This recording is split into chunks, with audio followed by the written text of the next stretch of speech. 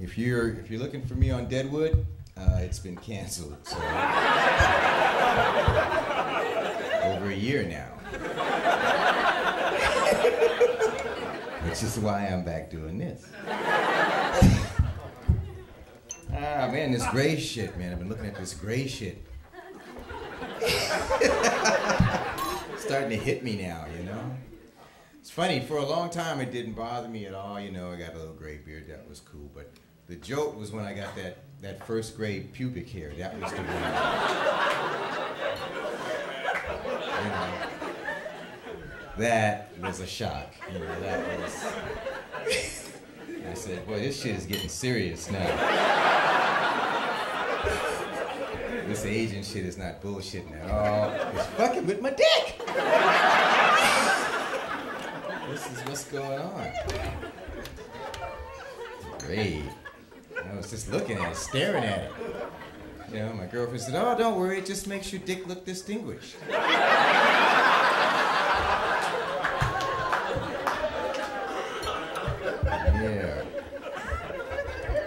Yeah, really? You think so? Yeah. You ought to buy it a pipe.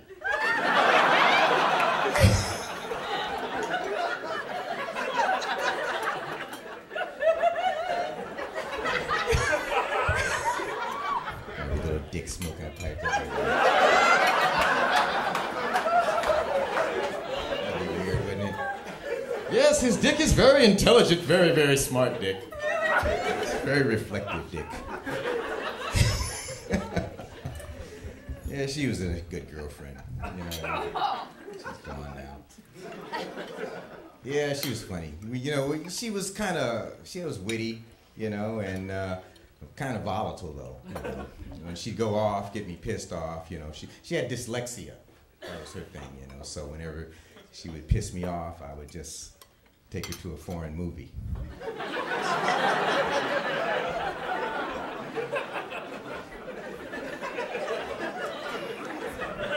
Wouldn't say nothing. Just let her deal with them subtitles for a couple hours.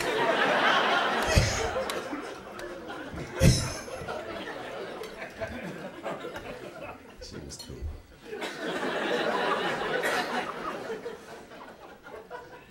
Yeah, you get pubic hair, man.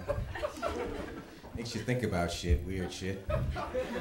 Pubics are weird anyway. I mean, they are. Because when you think about it, you know, Remember, you know, you can never remember when there was just one. you know, it's the strange thing about it.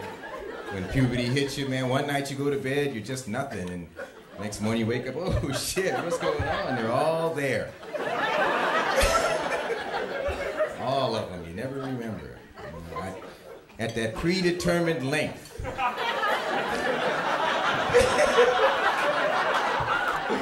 You know, totally a predetermined length.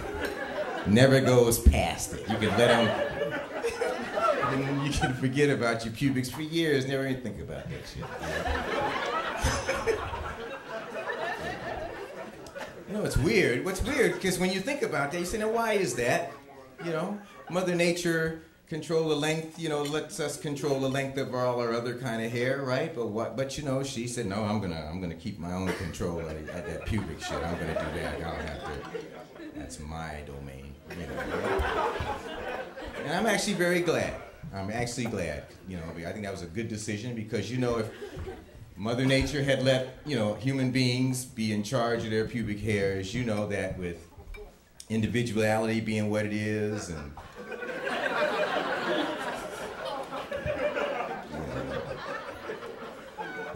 hygiene people. Right?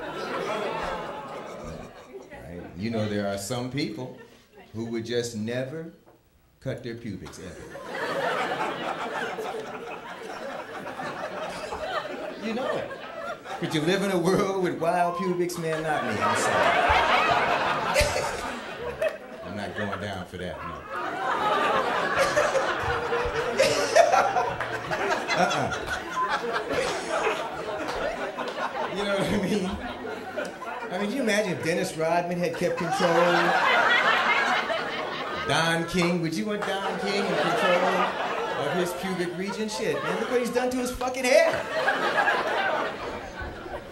You know, what would make a wino, you know, cut his pubics, huh? Peer pressure? You know, a couple winos walk up to him and say, hey, Fred, you know we really like getting loaded with you every fucking day.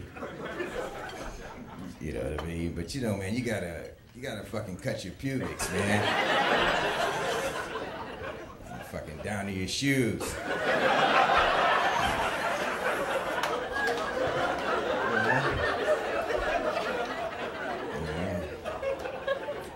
You got so much snapping and growling coming out of there. You know? Everybody's scared to step over you on the street. Can't say, wow, you think I got crabs? crabs, man, you got alligators in there.